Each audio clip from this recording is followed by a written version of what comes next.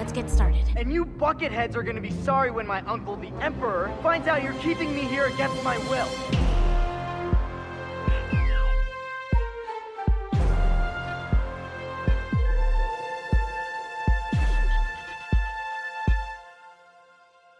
Wir sind ja im 21. Jahrhundert und es dürfte eigentlich nichts Besonderes sein, Frauen in Führungspositionen. Frauen als starke Charaktere. In Star Wars muss man gar nicht so lange suchen, um solche Frauen zu finden, aber trotzdem war das 2016 noch etwas Besonderes. Felicity Jones als Jin Erso. Die erste Hauptfigur im ersten vollwertigen Star Wars Film abseits der Skywalker Saga war gleich eine Frau. When was the last time you were in contact with your father? Fifteen years ago. I can't imagine what you think of me. When I was taken, I faced some bitter truths. The last time I saw you, you gave me a knife and loaded blaster and told me to wait in a bunker till daylight. I knew you were safe. You left me behind. You were already the best soldier in my cadre. I was 16. I was protecting you. You dumped me. We call it the Death Star, and the day is coming soon when it will be unleashed. If the Empire has this kind of power, what chance do we have? What chance do we have? The question is what choice? You give way to an enemy this evil with this much power, and you condemn the galaxy to an eternity of submission. The time to fight is now. May the Force be with us.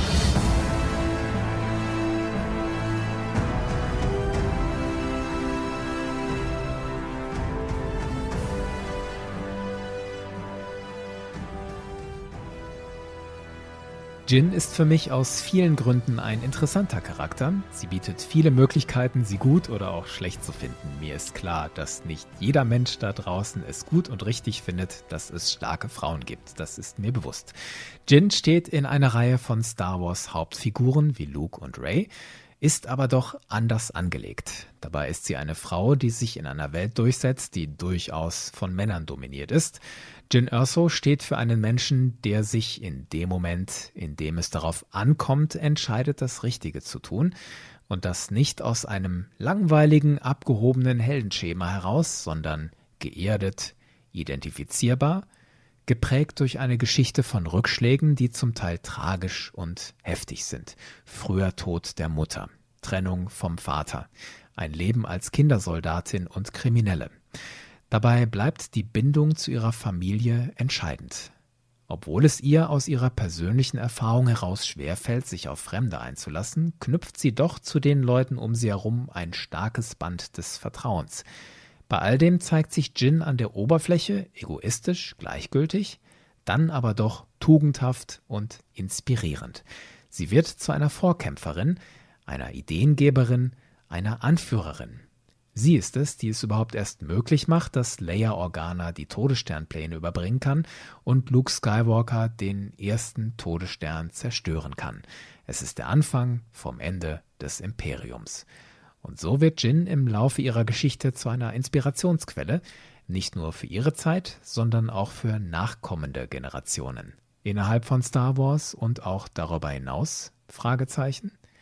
Oder ist das alles doch noch zu flach und Jin Erso ist nicht mehr als eine sogenannte moderne Disney-Prinzessin?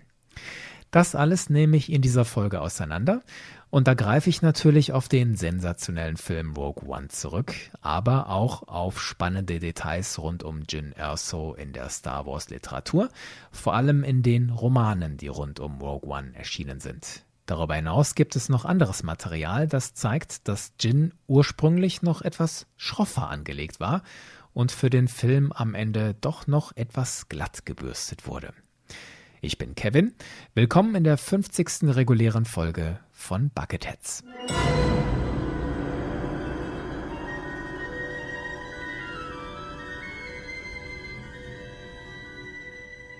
Mit dieser Musik kommt im Dezember 2016 Rogue One in die Kinos. Genau ein Jahr nach Episode 7, genau ein Jahr nachdem die Welt Ray kennengelernt hat. Nach unschätzbar wichtigen Charakteren wie Leia Organa und Padme Amidala ist Rey die erste weibliche Heldin, die eine ganze Trilogie der Skywalker-Saga tragen sollte. Jin Erso trägt keine ganze Trilogie, aber den ersten Star Wars Ablegerfilm fürs Kino. Sie ist dann auch das erste lebende Wesen, das wir in dem Film sehen. Die junge Jin, gespielt von Bo Gadsden. Ein kleines Mädchen, das unter der Gefahr eines anfliegenden imperialen Shuttles zu seinen Eltern nach Hause rennt. Mama! We know. Jin, gather things. It's time.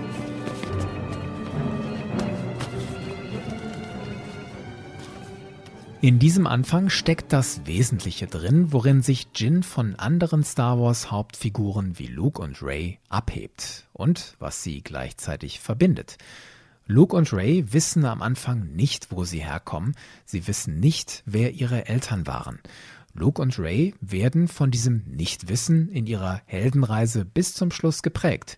Sie suchen nach ihren Eltern und ringen dabei um ihre Identität. Luke kann am Ende sagen, ich bin ein Jedi, genau wie mein Vater vor mir. Ray emanzipiert sich von ihrem genetischen Erbe, ein Nachkomme des bösen Chief Palpatine zu sein und wählt für sich selbst, ich bin ein Skywalker. Bei Jin Erso ist das zum Teil anders. Sie weiß am Anfang, wer ihre Eltern waren. Das betont Jin-Schauspielerin Felicity Jones auf der Star Wars Celebration 2016. There's one major difference between Jin Erso and other Star Wars heroes, Rey and Luke. And that main difference would be that, that Jin, she's not a character who's asking, who am I and, and where have I come from? We know that about her. We know where she's come from. And that fact is, is what propels the story and, and is the beginning of, of Jin's journey for, to find out what her reason is and, and her, her course. Dass Jin weiß, wer sie ist und wo sie herkommt, treibe die Geschichte an und sei der Anfang ihrer Suche nach dem Sinn ihres Lebens. Interessanterweise sagt der geschätzte Lucasfilm-Autor Pablo Hidalgo genau das gleiche über Jin, hier in einem Making-of zu Rogue One. Jin comes at this with an unusual hook, and that is so much of Star Wars is spent with our heroes wondering where they came from, not knowing who their parents are. Jin, she knows where she comes from, and that really does define who she is.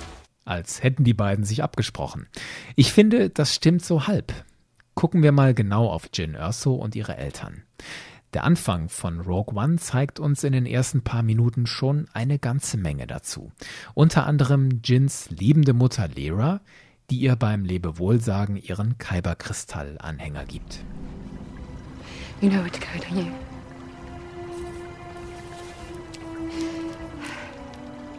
Trust the Force.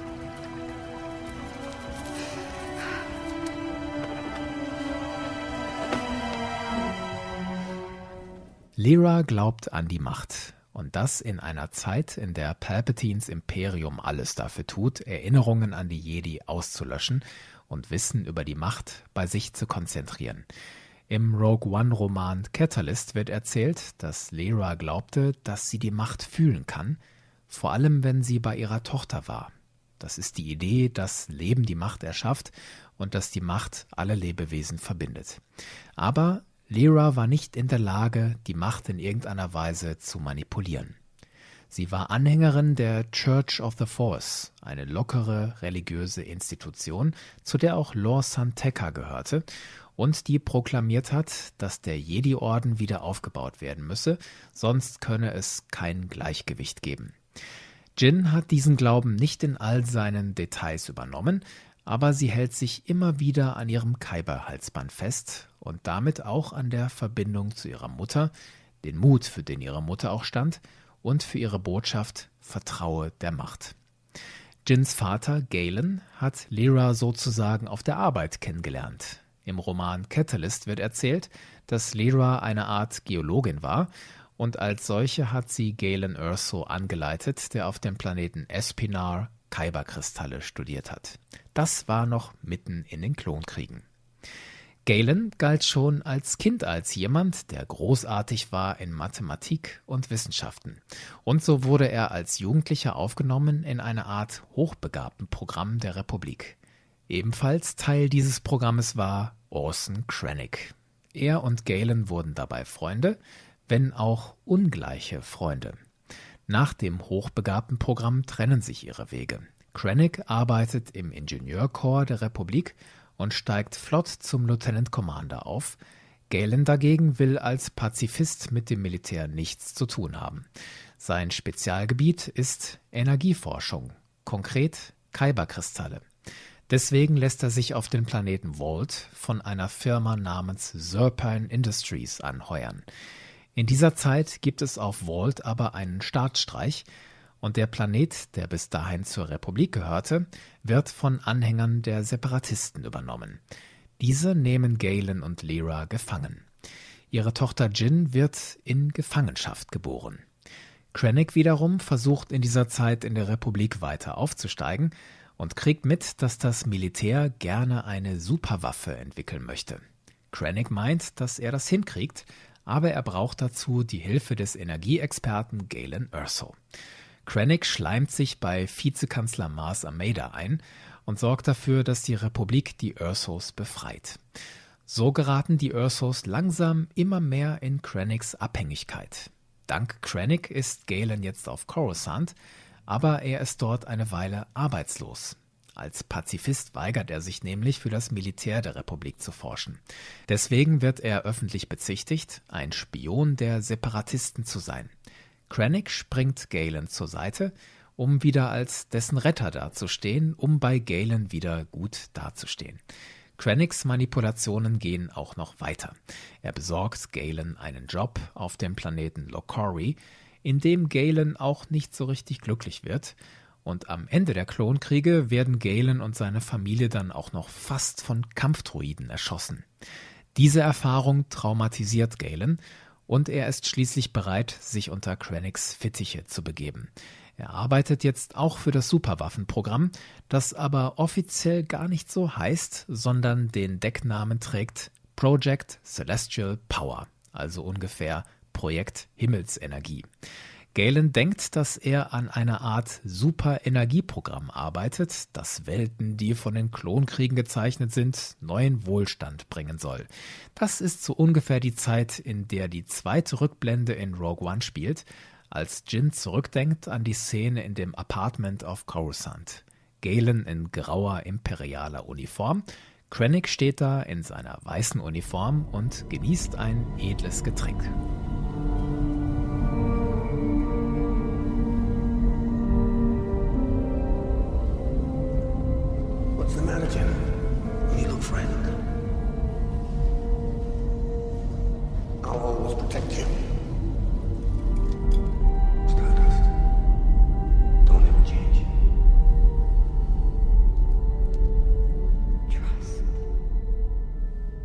In dieser Zeit ist Galen noch einigermaßen glücklich an der Seite von Krennic. Lyra dagegen ist in Bezug auf Krennic und dem angeblichen Energieprojekt die ganze Zeit schon skeptisch. Dank ihr begreift irgendwann auch Galen, dass Krennic seine Forschung für den Bau einer Superwaffe benutzt. Galen ist entsprechend wütend auf Krennic, wütend, dass er ihn angelogen und ausgenutzt hat, wütend, dass er, der Pazifist Galen, unwissentlich an einer Waffe gearbeitet hat. Galen ist aber inzwischen so verwoben in Krennics Netz, dass er nicht einfach offen mit ihm reden kann und einfach gehen kann.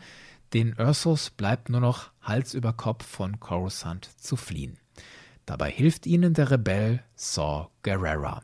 Er bringt sie nach Lamu, den Planeten, auf dem wir die Ursos am Anfang von Rogue One sehen. In diesen Szenen ist Jin acht Jahre alt. You will never win. Do it.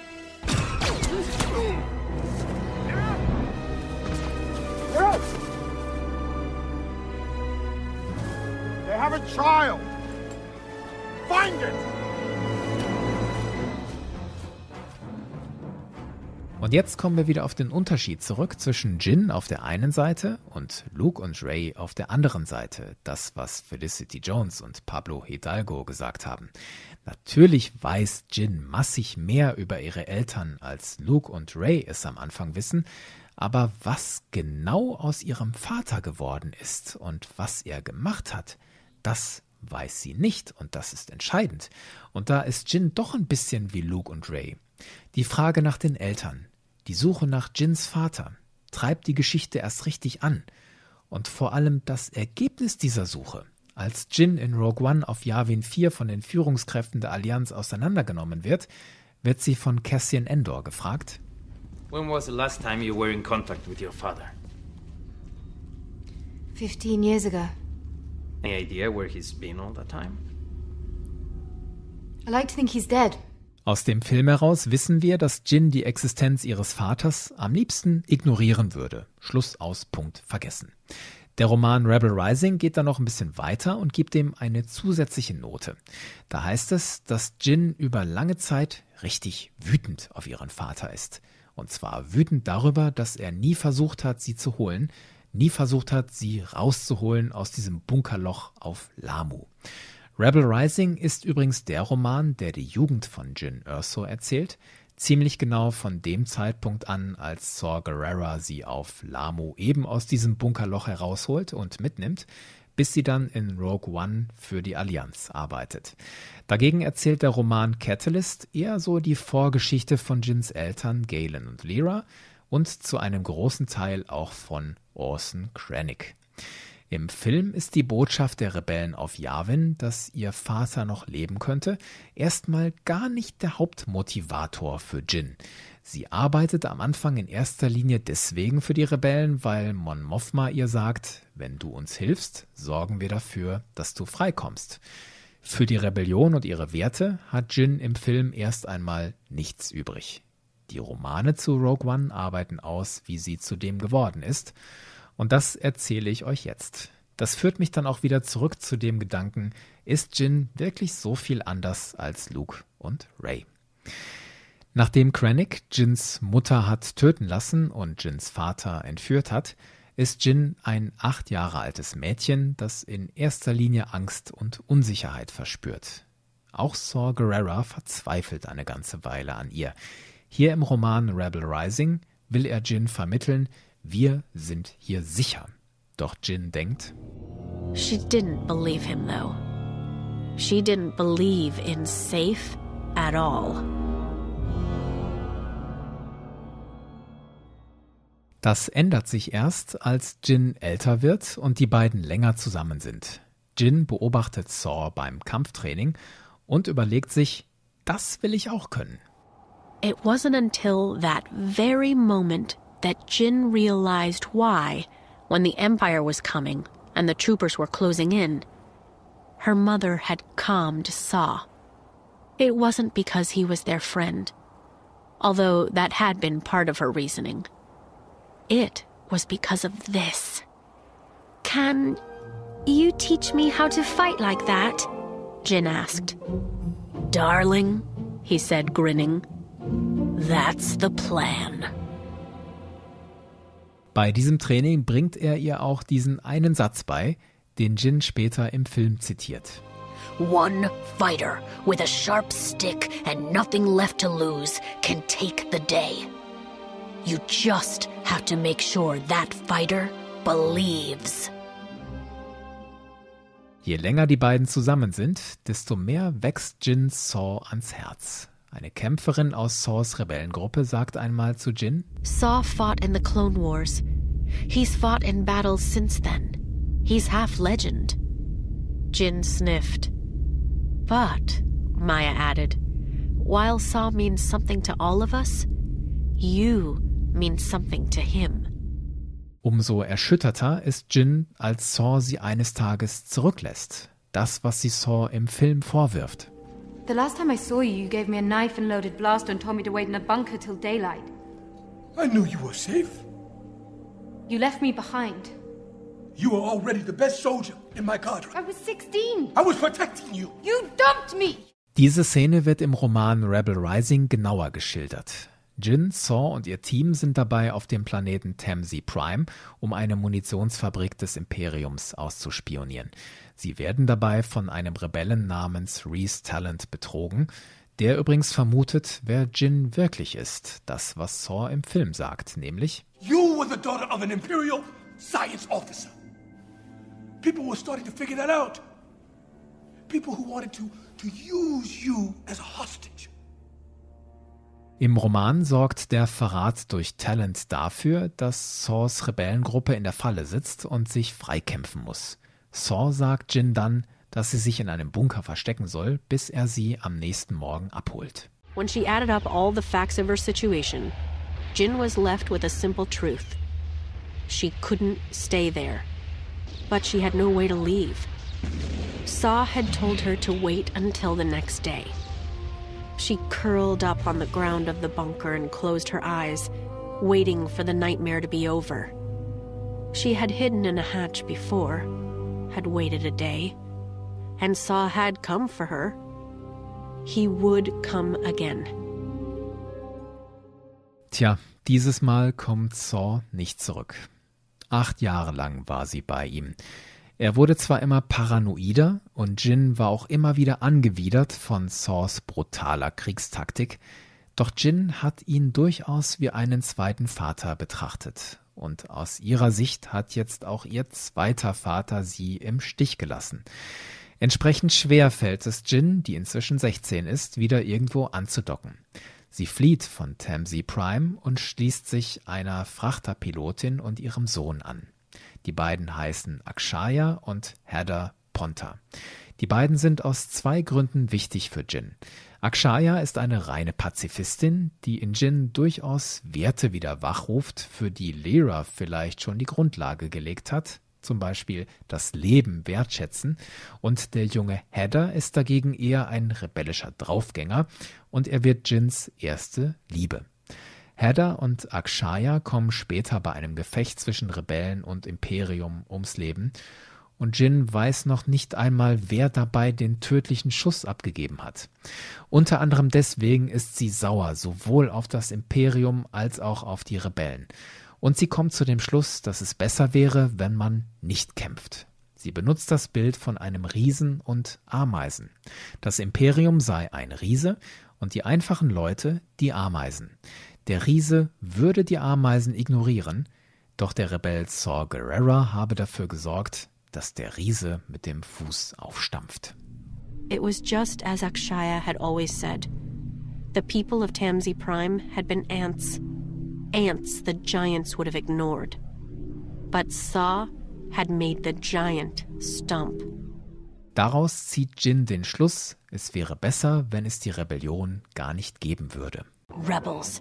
Everywhere she went, they followed, mucking it all up, bringing the Empire down on the people who didn't want to get involved. Why couldn't people just be people? Why did they have to be on one side or another? If everyone would just stop caring so much, maybe the galaxy could actually find the peace everyone claimed they wanted. Da ist sie, diese Haltung. Es sei besser, wenn einem Dinge egal sind. Denn wenn die Leute sich gegenseitig in Ruhe lassen, dann könne es vielleicht Frieden in der Galaxis geben. Im Film drückt Jin diese absichtliche Ignoranz im Gespräch mit Saw Gerrera aus, nämlich als der sie fragt, Jin, was willst du eigentlich? So what is it that you want, Jin? They wanted an introduction, they've got it. I'm out now. The rest of you can do what you want. You care not about the cause. The cause? Seriously?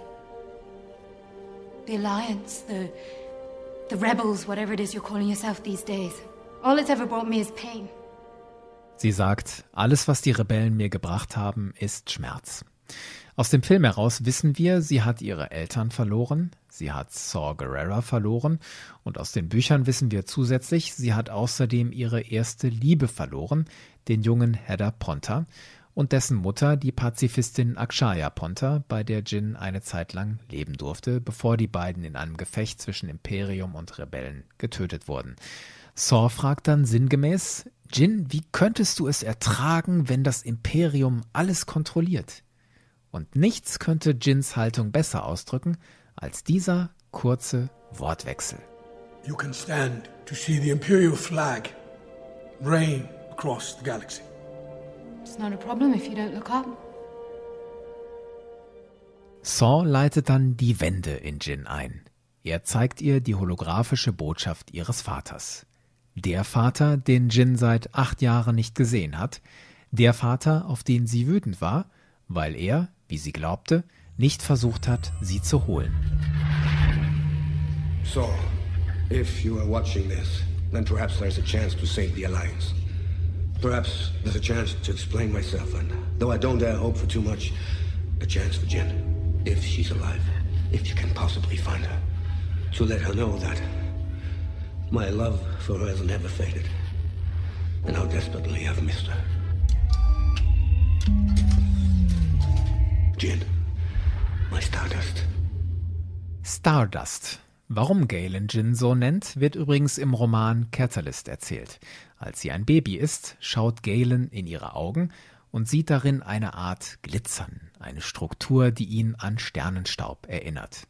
Das geht leider in der deutschen Übersetzung völlig verloren. Da nennt Galen Jin mein kleiner Stern. In der holographischen Botschaft erklärt Galen Jin dann, warum er sie nie wieder versucht hat zu kontaktieren. I can't imagine what you think of me.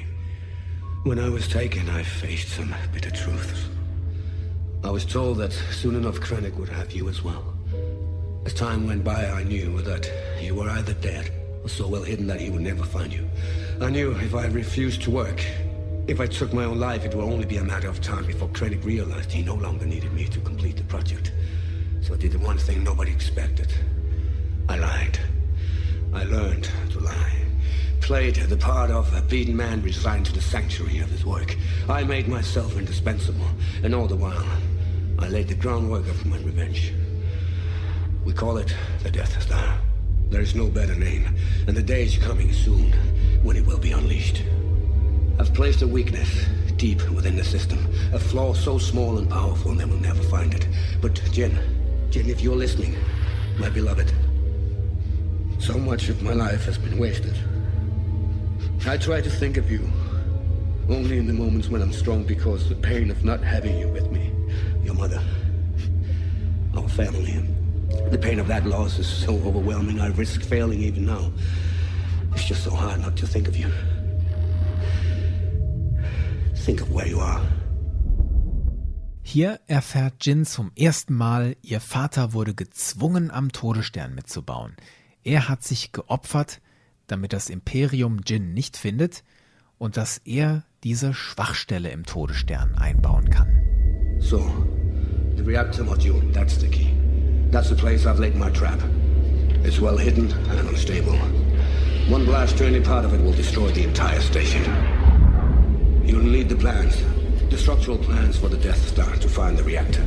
I know there's a complete engineering archive in the data vault at the Citadel Tower on Scarif. Any pressurized explosion to the reactor module will set off a chain reaction that will destroy the entire station.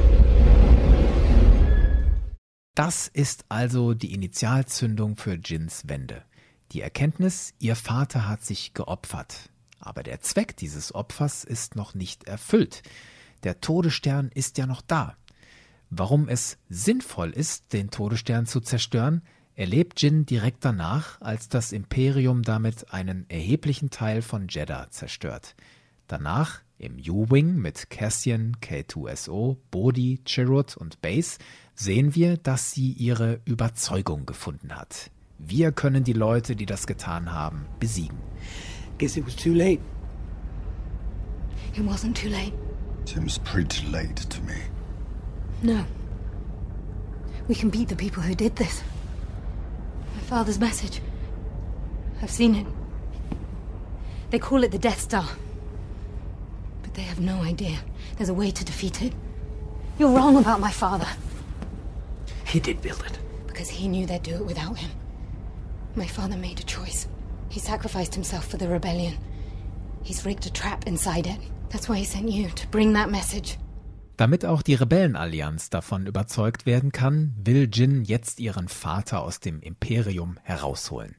Und später wächst daraus Jins Überzeugung, wir müssen selbst nach Scarif und die Pläne besorgen, und auf diesem Weg wird sie zu einer Anführerin der Rebellen. Und hier komme ich wieder auf Felicity Jones und Pablo Hidalgo. Von wegen, anders als Ray und Luke muss Jin nicht erst erfahren, wer ihre Eltern waren, damit ihre Geschichte richtig losgeht. Aber doch, ey, erst als Jin erfährt, was ihr Vater wirklich getan hat, startet sie den bedeutenden Teil ihrer Story.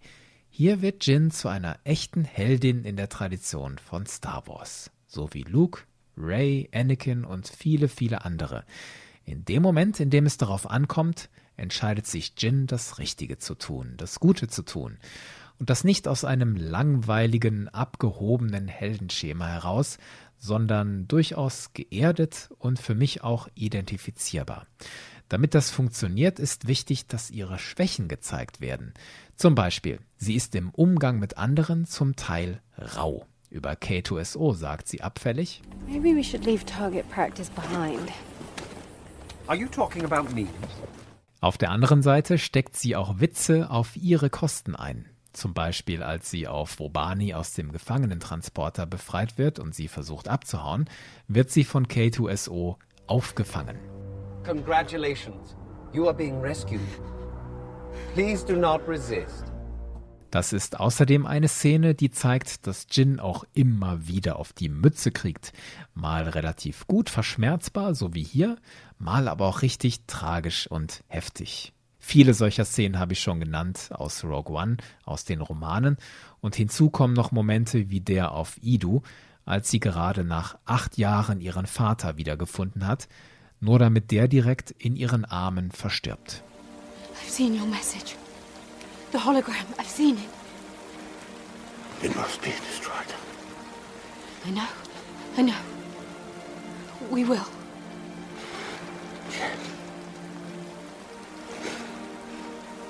Look at you. I have so much to tell you.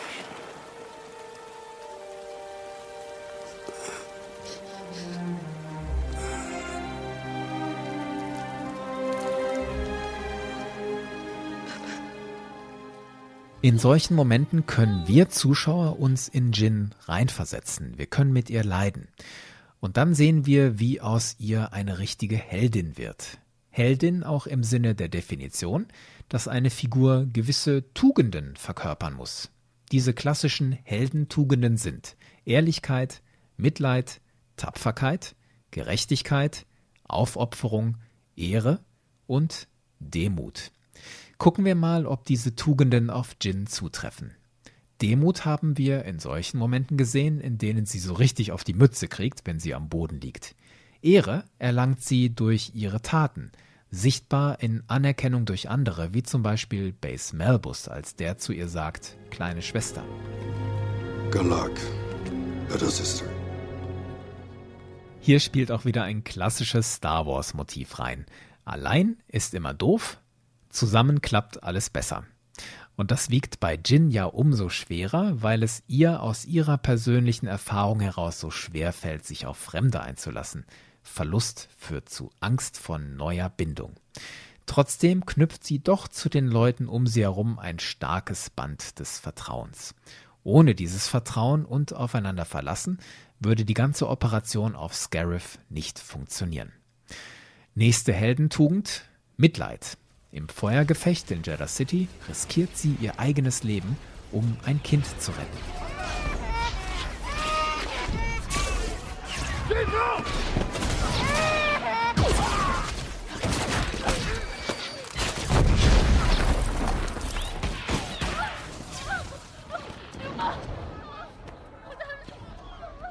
Tapferkeit. Auf Idu klettert Jin allein diese unfassbar hohe Leiter hoch, und dringt in eine imperiale Basis ein.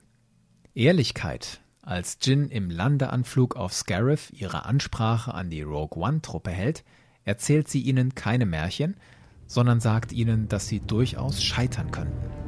They've no idea we're coming. They've no reason to expect us. If we can make it to the ground, we'll take the next chance. And the next. On and on until we win or the chances are spent. Gerechtigkeit. Als das Imperium Jeddah City zerstört hat, sagt sie, wir können die Leute schlagen, die das getan haben. Also sinngemäß, wir ziehen die zur Rechenschaft. Aufopferung? Naja, das ist ja klar. Die ganze Mission nach Scarif, der ganze Film Rogue One, ist eine einzige Geschichte der Aufopferung und da ist Jins Tod am Ende der Höhepunkt der Aufopferungen.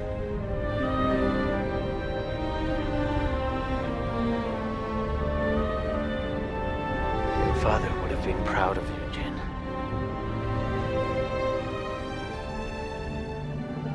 Jin erfüllt also im Laufe des Films alle heldenhaften Tugenden.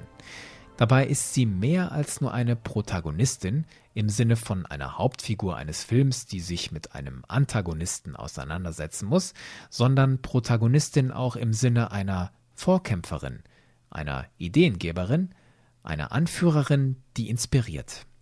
Um eine Ideengeberin zu sein, sollte jemand idealerweise selbst eine starke Überzeugung besitzen.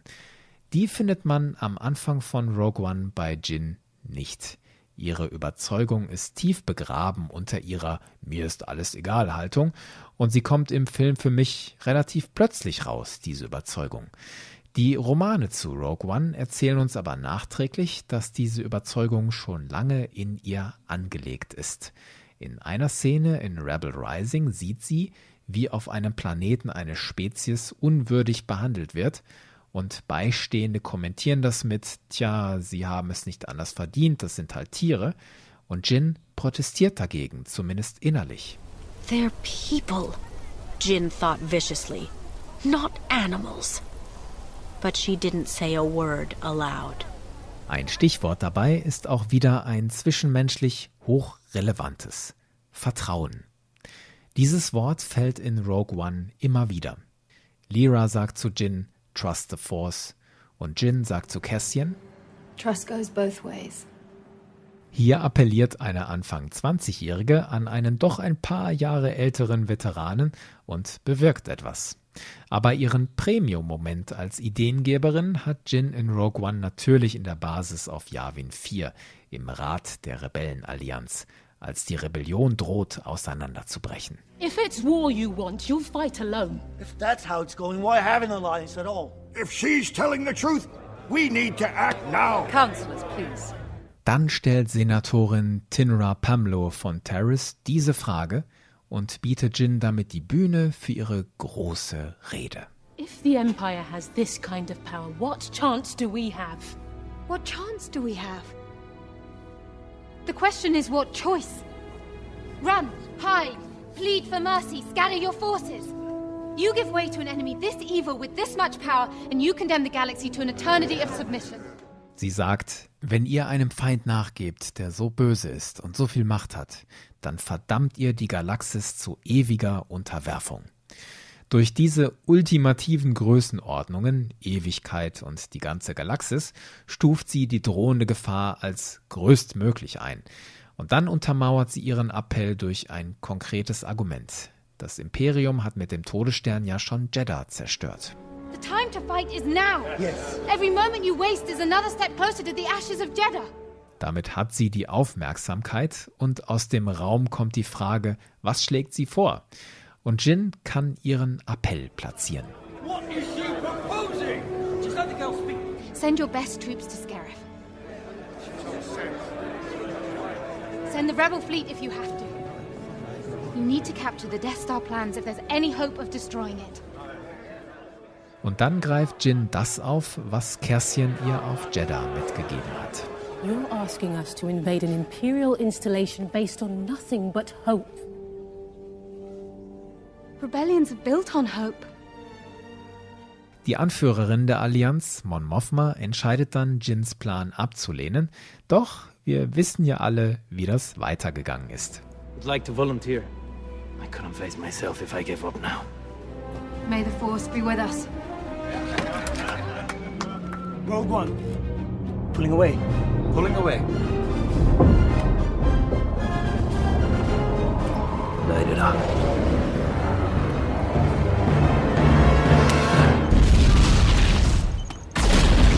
Are we blind? Deploy the garrison! No!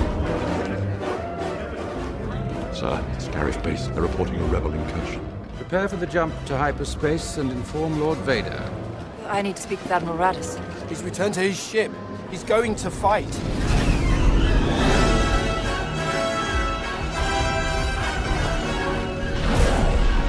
This is Admiral Radish of the Rebel Alliance. All squadron leaders report in. I've got it! Force and the force is with me. I'm one with the force, the force is with me. I'm one with the force, the force is with me. Reverse engines! Full power!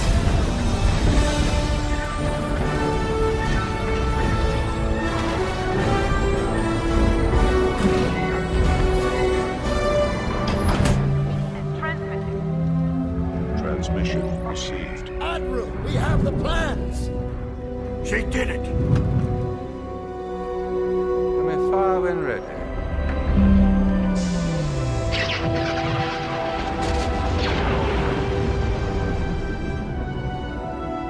Rogue One, may the Force be with you. Damit wurde Jyn Erso zu einer Vorkämpferin, zu einer Inspirationsquelle. Nicht nur für ihre Zeit, sondern auch für nachkommende Generationen. Dank ihrer Entschlossenheit und ihren Mut findet die Rebellenallianz die Schwachstelle im Todesstern, die ihr Vater Galen Erso hinterlassen hatte. Luke Skywalker kann den Todesstern zerstören. Die Rebellenallianz zersplittert nicht weiter oder löst sich gar auf, sondern sie wird eine richtige, stabile Allianz, die fünf Jahre später in der Schlacht von Jakku das Imperium endgültig besiegt. In vielen Star Wars-Geschichten, die seit Rogue One herausgekommen sind, beziehen sich Figuren immer wieder auf Jin. Luke Skywalker lässt sich von Jin Erso und Rogue One erzählen. Im Comic The Ashes of Jeddah sinniert er darüber, wie viel für sie schiefgelaufen ist, wie viel sie geopfert haben, nur damit er diesen einen Schuss abgeben kann. Und später benennt er ja seine Rogue-Staffel nach Rogue One, wobei das schon absurd kompliziert ist, dass es Rogue Squadron schon lange gab in den Legenden, bevor es später im Kanon Rogue One gab und dann nachträglich wurde das miteinander verknüpft. Ihr wisst schon, was ich meine.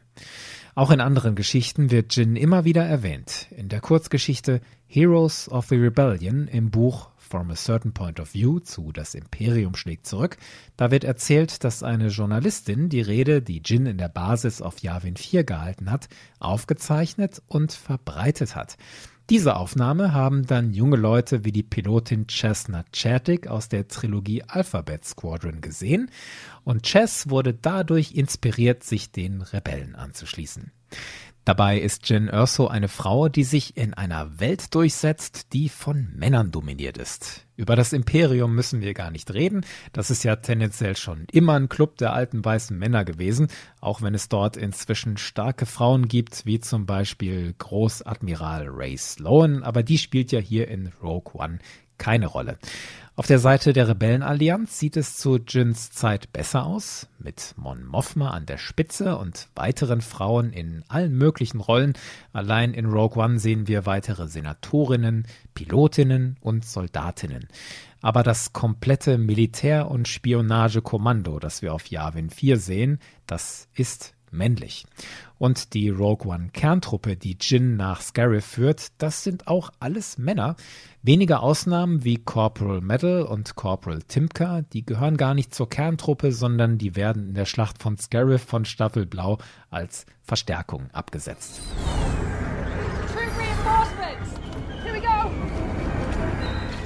Die Pilotin, die das hier gesagt hat, heißt übrigens Geraldine Garams. Blau 3. Nur mal so, vielleicht braucht man das ja irgendwann in irgendeinem Quiz. Jedenfalls, all das ist Jin Erso. Eine perfekte Heldin.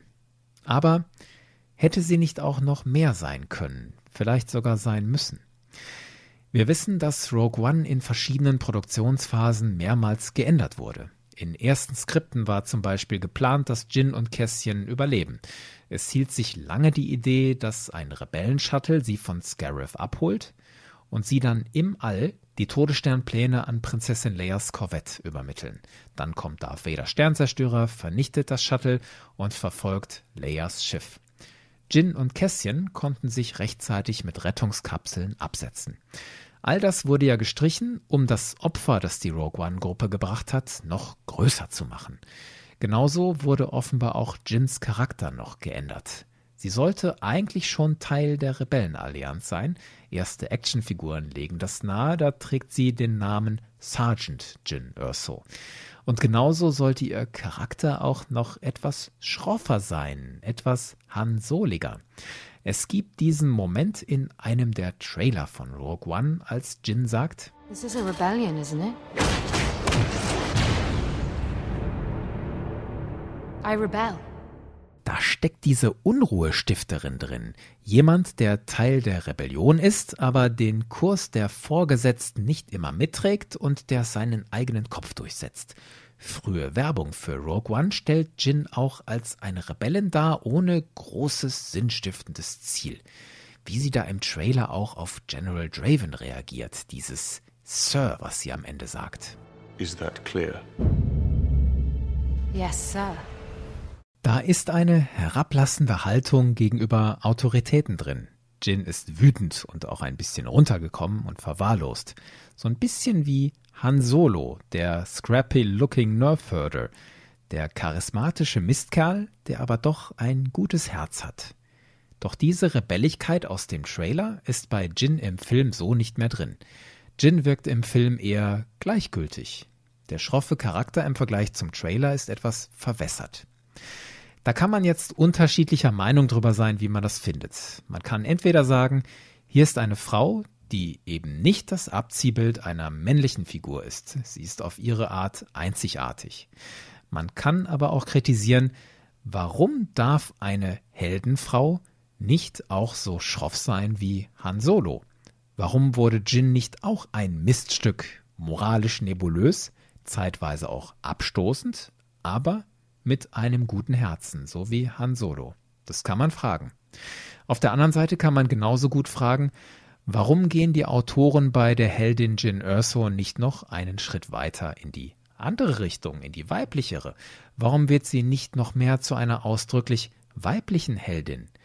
Jin muss in Rogue One kein Problem überwinden, das genuin ein Problem einer Frau ist. Was Jin passiert, hätte genauso gut jedem Mann passieren können.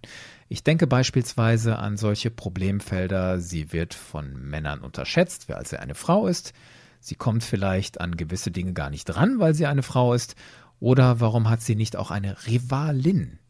Spannendes Feld, immer wieder, Rivalität unter Frauen. Das kann man bestimmt auch in Star Wars beackern, ohne dass es zu sehr in Klischees abdriftet. Aber dass das klar ist, ich will mir diese Kritik jetzt gar nicht zu eigen machen. Im Gegenteil, ich nehme die Geschichten gerne so, wie sie mir präsentiert werden. Und ich habe ja in dieser Podcast-Folge ausgiebig dargestellt, was ich an der Figur Jin Erso so gelungen finde. Unter anderem, dass sie sich als weibliche Heldin in Star Wars in einer Welt von Männern durchsetzt. Es wird zwar nicht ausdrücklich so ausgesprochen, nicht ausdrücklich so thematisiert, aber es wird gezeigt. Und vielleicht ist das ja gar nicht schlecht, dass es nicht nochmal ausdrücklich thematisiert wird, dass da keiner kommt und sagt, ey Jin, du als Frau, was willst denn du eigentlich unter uns Männern? Das macht ja keiner. Und das wiederum könnte ja auch eine Haltung widerspiegeln, die durchaus wertvoll ist. Nämlich diese Haltung, na, selbstverständlich haben wir eine Frau im Mittelpunkt und pf, klar kann die sich gegen Männer durchsetzen. Klar kann die Männer anführen, da müssen wir doch gar nicht drüber reden. So eine Selbstverständlichkeit könnte vielleicht dazu beitragen, dass so eine Haltung irgendwann Normalität wird. Übrigens, Jin Erso Schauspielerin Felicity Jones hat zu dem Thema auch etwas gesagt in einem Interview mit der Zeitschrift Glamour. Da sagte sie, sie spiele in Rogue One eine Disney-Prinzessin. Wenn man will, kann man das jetzt schön aus dem Kontext herausnehmen, in irgendein YouTube-Video packen und so tun, als hätte sich Felicity Jones abfällig über Star Wars geäußert und über die Figur Jin Erso und den Einfluss von Disney. Aber die Schauspielerin ergänzt in dem Interview, Jin sei eine Prinzessin, aber eine zeitgemäße Kick-Ass-Prinzessin. Sie sei am Anfang des Films wie ein verwundetes Tier, sagt Felicity Jones, und das finde ich ein sehr passendes Bild. Es gebe Momente, in denen Jin umgehauen wird und sie kämpfe darum, wieder aufzustehen. Der Regisseur Gareth Edwards habe sehr darauf geachtet, dass Jin nicht perfekt sei, dass man den Menschen in ihr erkenne. Und Felicity Jones betont noch etwas ganz Interessantes, nämlich Jin sei in Rogue One nicht sexualisiert. Und das stimmt.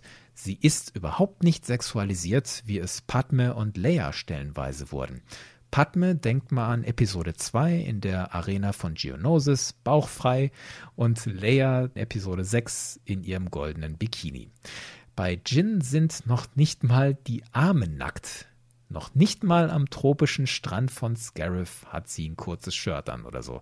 Im Gegenteil, Jin hat dieses praktische Outfit mit Handschuhen, Gebrauchsgürtel, langen Hosen und einem langärmeligen Top. Da können wahrscheinlich mehr Menschen da draußen sagen, hey, die sieht ja aus wie ich, ich will sein wie Jin. Besser als wenn sie in Hotpants durch den Film rennen würde. Felicity Jones vergleicht dann noch sich und Jin Erso mit Sigourney Weaver in Alien und Jennifer Lawrence in den Tributen von Panem. Das seien auch Frauen, die in Actionfilmen eine führende Rolle eingenommen hätten. Und da sieht sie sich auch in einer Reihe mit Ray-Darstellerin Daisy Ridley, sagt Felicity Jones.